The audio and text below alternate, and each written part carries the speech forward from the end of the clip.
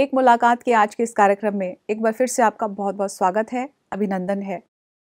दर्शकों, एक मुलाकात की आज की श्रृंखला में हमारे बीच में पहुँच चुकी हैं आज की हमारी बहुत ही खास मेहमान, Rajmata of Baroda, her highness Shrimati Shubhangi Raje Gaekwad ji. आपका इस कार्यक्रम में पधारने पे मैं बहुत बहुत स्वागत करती हूँ। ओम शांति। ओम शांति। सबसे पहले तो आपसे जानना चाहूँगी कि आप यहाँ पर आए हैं और एक आध्यात्मिक वातावरण है, ग्लोबल समिट के इस कार्यक्रम में आप पधारे हैं। आपको यहाँ आके कैसा लग रहा है? यहाँ आके एक बहुत विशेष जैसे अनुभव हो रहा है, क्योंकि मुझे लगता है यहाँ के परिसर में आते ही मुझे एक शांति का अनुभव हुआ और सबसे मिल के जो यहाँ के संचालक हैं और जो माननीय दादी और उनसे सब लोगों से मिल के और मुझे मेडिटेशन रूम में भी थोड़ी देर बैठने का अवसर मिला। तो वो सब एक विशेष अनुभव हुआ और कह नहीं सकी मैं कि एक आनंद का अनुभव था या एक दूसरा कुछ अनुभव था बस ज़रूर मुझे यहाँ आके अनोखी शांति मिली जी। और वातावरण बहुत ही प्रभावित हुई हूँ मैं वातावरण से क्योंकि शांति का वातावरण है और फिर उसमें ऊर्जा भी है। जी जी। माने it's not just peaceful but there is a there is a strength in it also and तो इस हिसाब से मैं खुशी हूँ कि मुझे आज यहाँ आने का अवसर मिला और इस ग्लोबल समिट में मुझे आमंत्रित किया गया। जी। तो मैं सबको एक बहुत ही मेरा अभिवादन भी देती हूँ और धन्यवाद भी देती हूँ। यहाँ आके कैसा लगा? तो वो चीज़ चल रहा था ना? हाँ यहाँ मैं आज आई पहली दफ़ा आई हूँ इस परिसर में। सुना तो था ये ग्लोबल ये ब्रह्म कुमारी का बहुत बड़ा सेंटर यहाँ है जी। और बड़ौदा के सेंटर में कई बार मैं गई हूँ और वहाँ वो हमेशा वहाँ की जो संचालिका है अरुणा बेन वो मुझे हमेशा कहती थी कि आप ज़रूर वहाँ आइए और देखिए कितना अलग यहाँ का विशेष माहौल है और एटमॉस्फेयर है जो यहाँ का पवित्र एटमॉस्फेयर तो आज मैं सुबह आई तो मुझे ज़रूर एक विशेष अनुभव हुआ। बहुत पावरफुल ऊर्जा जैसे मुझे फीलिंग हुआ। और सभी यहाँ के एडमिनिस्ट्रेटर संचालिका और मान्य जो दादी वगैरह हैं सीनियर जी। दादी उनसे सबसे मिलके एक अलग अनुभव फील हुआ। एक उनका आशीर्वाद मिलके भी खुशी हुई। और मुझे ये आनंद हुआ कि ये एक संस्था है जो स्पिरिचुअल संस्था जो बहनों के तरफ़ से महिलाएँ चला रही हैं महिलाएँ इसका संचालन कर रही हैं। एडमिनिस्ट्रेशन ये बहुत बड़ी बात मुझे लगी। इसका अनुभव पूरा देखने को मिला। और ये पूरा परिसर इतना एनवायरनमेंट वाज सो पीसफुल तो उसका एक बहुत ही अच्छा एक्सपीरियंस हुआ मुझे। जी ये जो टाइटल है राजमाता ऑफ़ बड़ौदा तो मैं जानना चाहूँगी कि इसके पीछे का इतिहास क्या है? इतिहास तो कुछ नहीं है। हमारे परिवार गायकवाड़ परिवार इतने सालों से वडोदरा में और गुजरात में जब आए थे, मराठा लड़ाई करते करते सत्तर उस सदियों में जब यहाँ आए 200-300 साल पहले, मुगलों के विरुद्ध में लड़ाई करते करते तब से मराठा लोग गुजरात में आए और तब से हमारा परिवार यहाँ स्थायिक हो गया और बड़ोड़ा उसका केंद्र बना। और पूरा वैसे तो वडोदरा राज्य जो पहले कहते थे वो बहुत ही फैला हुआ था। द्वारका के टिप भी वडोदरा राज्य में के आता था। जी। तो इतना फैला हुआ गुजरात में स्वतंत्रता के बाद तो अपने देश डेमोक्रेटिक हो गए और ये सब टाइटल्स वगैरह का कुछ मतलब तो वैसे है नहीं। हम्म, पर एक हमारा अनोखा जो रिलेशनशिप है जो हमारा संबंध वडोदरा के लोगों के साथ है वडोदरा के पूर्व वडोदरा राज्य के साथ जो है वो अभी तक वैसे ही रहा है। शायद इसलिए कि हमारे परिवार के लोग हमेशा वडोदरा में रहे लोगों के साथ जुटे रहे अलग अलग परिस्थितियों में भी सभी परिस्थितियों में हम लोगों के साथ रहे हमेशा। हम वडोदरा छोड़ के बाहर बड़े शहर में रहने नहीं गए कि मुंबई में हम्म। या दिल्ली में पर हम वहीं रहे और वहीं के सांस्कृतिक वहीं के कल्चरल सीन को हम एक तरह से हम लोग उसके सहभागी हुए। पहले जिस तरह से हम चलाते थे उस तरह उस प्रकार से तो हम नहीं कर सकते। फिर भी हम अपने तरह से वडोदरा के जो कल्चरल सांस्कृतिक केंद्र कहते हैं गुजरात में जी। वडोदरा को कल्चरल कैपिटल ऑफ़ गुजरात। तो इस सांस्कृतिक माहौल को हम लोग किसी तरह अभी तक बचा सके हैं। हमारे परिवार के मेरे पहले भी हमारे मेरे पति भी और उनके पहले के भी तो सभी लोग हम लोग लोगों के साथ जुड़े रहे सभी तरह से। और मुझे लगता है यही एक कारण होगा कि लोगों का विश्वास और प्यार हमारे साथ अभी भी है। जी जी। And that is our strength I can say that और उस शक्ति के वजह से अभी जो भी हमको सम्मान वगैरह मिलता है और वो लोगों के का विश्वास अभी भी है कि हम उनके साथ हैं। जी। खास यही बात है। जैसे कि स्टूडेंट्स की लाइफ की यदि हम बात करें तो हम देखते हैं कि स्टूडेंट्स में मॉरल वैल्यूज़ का आज के टाइम में बहुत कमी हो चुकी है और यहाँ पे मॉरल वैल्यूज़ की बात बहुत ज़्यादा होती है। एजुकेशन किस तरीके से वैल्यूज़ को इम्प्लीमेंट करें तो बहुत बात होती है यहाँ पर। तो आपको क्या लगता है कि स्पिरिचुअलिटीज़ एंड वैल्यूज़ बच्चों के लिए कितना इम्पोर्टेंट है? स्पिरिचुअलिटी और value added education as we say important I am not the vice chancellor of the university so I am not running it day to day but I am the chancellor so my position is different. However i have a say in what happens. And हमारे विश्वविद्यालय का तो बहुत ही अब उसका भी अब अमृत महोत्सव हम लोग कर रहे हैं तो काफ़ी सालों से उसका एक बहुत अच्छा एक रेपुटेशन रहा है सालों से। और स्पिरिचुअलिटी और उसके प्रति जो लगाव लोग बच्चों को चाहिए उसका हम हमेशा प्रयत्न करते आ रहे हैं। हम लोगों के लिए ये भी खुशी की बात थी कि श्री अरबिंदो जैसे जो बाद में महर्षि बन गए और पौंडीचेरी में उनका आश्रम अभी भी चल रहा है जी। उनके जैसे फिलोसोफर और थिंकर हमारे विश्वविद्यालय के आर्ट्स कॉलेज के प्रिंसिपल रहे हैं। वो वहाँ खुद सिखाते थे और तेरह साल वो बड़ोदरा में रहे उनके यंगर एज में। इस तरह के बहुत लोग वहाँ आए बहुत एमिनेंट जो अभी लोग बन गए हैं। आपके ग्लोबल समिट में भी पद्म भूषण डॉक्टर भाटकर आ रहे हैं विजय भाटकर। जी जी। वो भी हमारे एलमनाय रहे हैं स्टूडेंट जी। यूनिवर्सिटी के। सो so, इस तरह से हमारे एलमनाय बेस जो हमारे विश्वविद्यालय का रहा है वो बहुत ही अच्छा रहा है। और जहाँ जहाँ एलमनाय ने हमारा नाम रोशन किया है यूनिवर्सिटी का और यूनिवर्सिटी का नाम एलमनाय की वजह से ही बनता है।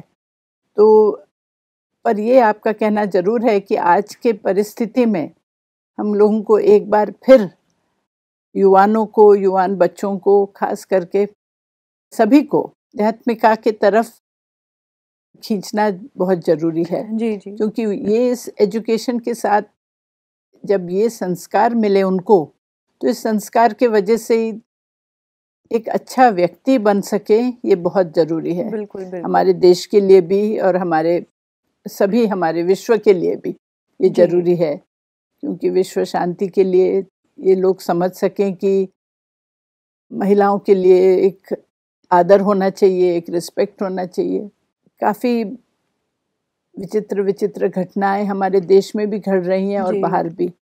तो इसका कारण है कि एक संस्कार हम लोग भूल गए हैं और ये हमारे युवानों में हमको लाने की बहुत ज़रूरी है। जी आप ब्रह्मा कुमारी के इस कैंपस में आए हैं और ब्रह्मा कुमारी महिला सशक्तिकरण की एक मिसाल है पूरे विश्व भर में। जी। बहुत सारे जो प्रोजेक्ट्स हैं वो भी रन कर रही हैं। तो आपको यहाँ की कार्यशैली को देख करके कैसा महसूस हुआ? नहीं बहुत ही अच्छा लगा और मुझे आनंद हुआ गर्व भी हुआ कि महिलाओं इतना सुंदर काम यहाँ हो रहा है। महिलाओं सशक्ति करने का एक अच्छा उदाहरण ही यहाँ है। हम लोग अलग अलग तरह से महिलाओं को शक्तिशाली बनाने का प्रयत्न तो कर ही रहे हैं। हमारी संस्थाओं के द्वारा उनको शिक्षण देके उनको वोकेशनल ट्रेनिंग देके हम अभी हमारी संस्था जो चल रही है बहुत सालों से अलग अलग तरह का वोकेशनल ट्रेनिंग देके उनको साथ में हम उनको वैल्यूज़ भी सिखाने का प्रयत्न करते हैं। जी। और इसमें हम प्रयत्न तो चल ही रहा है। और ब्रह्मा कुमारी इसका आज यहाँ देख के भी मुझे बहुत आनंद हुआ। और एक साधना करके एक ध्यान करके एक जो शक्ति एक किसी को भी व्यक्ति को मिलती है उसके द्वारा काम करने की एक विशेष ऊर्जा आती है और और वो आज यहाँ उसका अच्छा उदाहरण देखने को मिला। जी आध्यात्मिक माहौल है चारों तरफ़ यहाँ पर और मेडिटेशन की भी बात होती है। और आपने यहाँ पर आके आपको जानकारी भी मिली होगी कि मेडिटेशन हमारी लाइफ में क्यों इतना इम्पोर्टेंट है। तो मैं आपसे जानना चाहती हूँ कि क्या आप अपनी लाइफ में भी मेडिटेशन करते हैं? मैं करती हूँ अलग तरह से और अपने आप में मेडिटेशन या ध्यान करना या एक भगवान का नाम लेके शांति से बैठना अपने आप में ये मुझे लगता है सभी के लिए बहुत ही ज़रूरी चीज़ बन गई है। क्योंकि हम इतने कार्य में बिज़ी रहते हैं तो थोड़ा अपने अंदर भी देखने की ज़रूरत पड़ती है। And meditation is the only way और ध्यान जिसमें हम अपने आप थोड़ा समय बिता सकते हैं। जी। और मुझे खुशी है कि अनेक अलग अलग संस्थाओं द्वारा मेडिटेशन पे ये दिए जा रहा है जो उसके ऊपर इम्पोर्टेंस दे रहे हैं। और काफ़ी युवान भाइयों बहनों भी मेडिटेशन में अब जुड़ रहे हैं अच्छी तरह से। ये बहुत ही अच्छी बात है। जी मैं आपसे जानना चाहूँगी कि आप भी एक महिला है और महिला सशक्तिकरण की आप भी एक मिसाल है। आपने बहुत सारे सोशल वर्क किए, समाज में परिवर्तन लाने का भी बहुत सारे आपने ऐसी एक्टिविटीज़ भी की हैं। तो ये इस शो के माध्यम से आप देश की महिलाओं को क्या संदेश देना चाहेंगे? जो आपके अंदर की शक्ति है उसको पहचाने। क्योंकि अगर आपकी इच्छा हो तो आप कुछ भी कर सकते हैं, ये मैं कहना चाहूँगी। मैं अनेक प्रकार से एक ट्रस्ट हॉस्पिटल के साथ भी जुड़ी हुई थी। तो मुझे अनुभव हुआ सभी वर्गों के लोगों के साथ काम करने का। Right from the class four sweepers और मैं उसके साथ के ऊपर के सीनियर डॉक्टर्स और वगैरह के साथ पे भी I was running the hospital तो मुझे उसका भी अनुभव हुआ। और अनेक प्रकार से महिलाओं का ही हॉस्पिटल था, महिलाओं के लिए और बच्चों के लिए मटर्निटी गायनिक वो हमारा थ्रस्ट उसके ऊपर था। तो बहुत ज़्यादा मैंने पास से उनकी अड़चने देखी हैं उनकी डिफ़िकल्टीज़ देखी हैं। परंतु अगर महिलाओं को सपोर्ट मिले सही समय तो वो सभी अड़चनों से बाहर निकल सकती हैं। और ये मैं कहना चाहूँगी कि you have to support each other ये एक मैसेज देना चाहूँगी कि नहीं तो क्या होता है कि महिलाएँ एक दूसरे के विरुद्ध में बोलने को और ये करने को प्रयत्न करते हैं लेकिन सभी का कुछ अड़चन सबके साथ चल रही है। जी। Everybody is fighting their own battles so ज़रा अच्छी तरह ध्यान पूर्वक और ज़रा प्रेम से देखें सबके तरफ़। जी जी। ये ज़रूरी है और सबके साथ सद्भावना रखें प्रेम रखें तो बहुत अलग माहौल दुनिया में हो सकता है। जी। बहुत अच्छी बात आपने कही कि हमें एक दूसरे का साथ दे के आगे चलना होगा। और ये तो संदेश जैसे आपने महिलाओं के लिए दिया और जाते जाते हमारे दर्शकों के लिए कोई इंस्पिरेशनल मैसेज मैं खुद ही यहाँ के इंस्पिरेशन ले रही हूँ, लेकिन हाँ मैं कहूँगी कि यहाँ आके मुझे बहुत विशेष ऊर्जा मिली और सभी को कहूँगी कि ये हमारा कर्तव्य है कि हम स्पिरिचुअलिटी को अपने, किसी तरह अपने जीवन में लाएँ। क्योंकि इसके साथ ही हमारे जो भी पुराने बड़े काम हुए हैं वो हमेशा स्पिरिचुअलिटी से जुड़े हुए रहे हैं। जो। बहादुरी के काम भी कभी भी ऐसे नहीं हुआ कि जो उसमें आध्यात्मिका नहीं रही है जी, जी। वो हमेशा इस तरह से रहे हैं। तो वो तो हमको धर्म या जो अपना सही रास्ता दिखाने का कार्य हमको आध्यात्मिका से ही मिलता है। So we have to walk on the right path हमारे देश में, हमारे शहर में या हमारे विश्व में विश्व में शांति ला सकते हैं और खास करके हमारे पूरे पर्यावरण के तरफ़ ध्यान दे के एक अच्छी तरह ये दे सकते हैं, क्योंकि पर्यावरण की सुरक्षा, पर्यावरण के लिए एक रिस्पेक्ट और रिगार्ड जो पूरे विश्व में जीवित लोगों के के लिए, हमारे पेड़ पौधों के लिए वाइल्ड लाइफ के लिए फॉरेस्ट के लिए सभी चीज़ के लिए जंगलों के लिए हमको अलग तरह से देखना है हमारे नदियों के लिए पानी की बचत। सो ये मुख्य कारण है। हमारे देश में सब बदल रहा है क्योंकि हमें देश में स्वच्छता जो चाहिए वो नहीं है। सो मन का स्वच्छता और बाहर की स्वच्छता ये साथ में एक जुड़ा हुआ चीज़ है और इसको हम साथ में लेके चलना चाहिए। जी बहुत आज आपने इतनी बखूबी चर्चा की है हर मैटर को लेकर के। और कैसे मुझे तो गर्व है कि कि बींग अ वुमेन आप इतने सारे समाज में बदलाव लेकर आ रहे हैं चाहे वो एजुकेशन के माध्यम से हो और आप एनवायरनमेंट को लेकर के भी बहुत कंसर्न हैं और कैसे समाज के उत्थान के लिए भी आप इतनी सारी एक्टिविटीज़ करते रहते हैं तो आपका यहाँ पधारने पे मैं बहुत बहुत धन्यवाद करती हूँ। ओम शांति। तो ओम शांति। तो दर्शकों ये थे हमारे बीच में आज के हमारे मेहमान। राजमाता बड़ौदा, श्रीमती शुभांगिनी गायकवाड़ जी। तो दर्शकों, उन्होंने ये हमको बताया कि मेडिटेशन ही वो ज़रिया है जिससे व्यक्ति स्वयं से जुड़ सकता है।